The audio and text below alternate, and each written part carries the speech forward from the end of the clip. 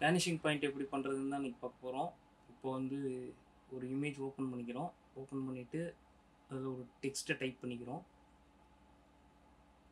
Way to piece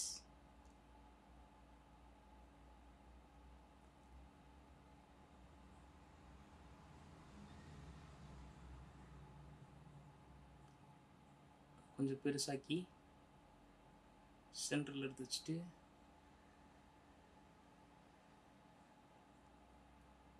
layers open பண்ணி அதை rasterise பண்ணிக்கிறோம்.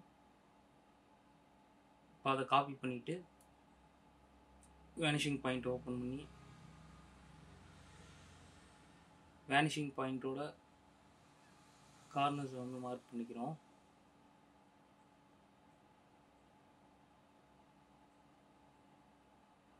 இப்போ காப்பி பண்ணி வச்சதை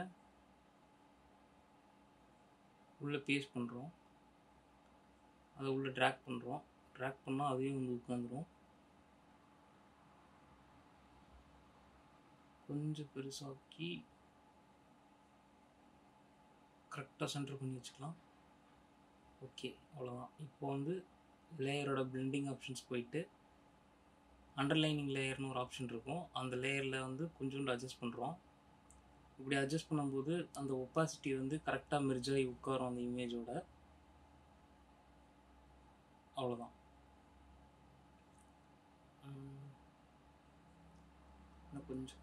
ஓகே ஃபைன் அவ்வளோதான் பிடிச்சிருந்தா சேனலை சப்ஸ்கிரைப் பண்ணுங்கள் லைக் பண்ணுங்கள் ஷேர் பண்ணுங்கள்